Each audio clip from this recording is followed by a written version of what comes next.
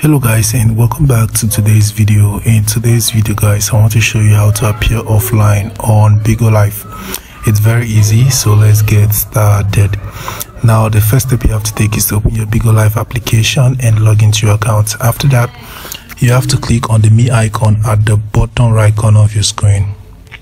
Right so once you do that from here if you look at the top right corner you notice these two icon go ahead and click on the settings icon.